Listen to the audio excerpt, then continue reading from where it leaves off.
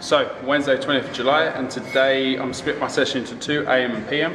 My AM is going to be strength focus, which I'm going to be doing four sets of five at 75% of my front squat, which I'm thinking is um, my best uh, front squat was about 160.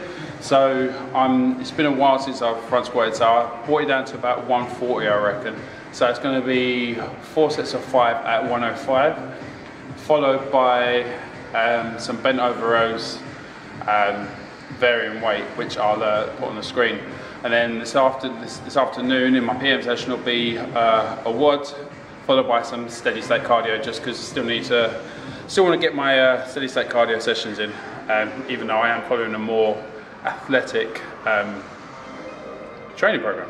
Anyway, here we go.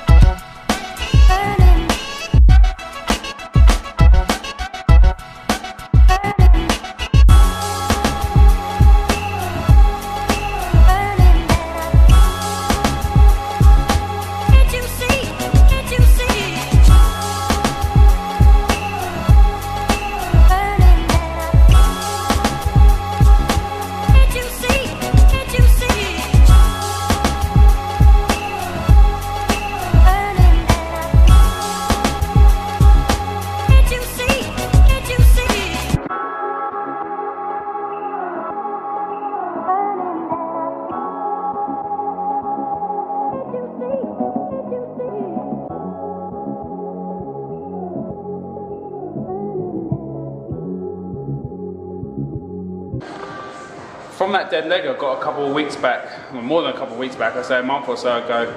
Um, it's my quads are still, I feel they're still really tight, especially my right one, and um, it's just pulling into my hips, making my pelvis tuck under quite long. So I'm really trying to rectify that, especially in these warm-up sets. But it's definitely something I've noticed and I am working on, trying to release that tension.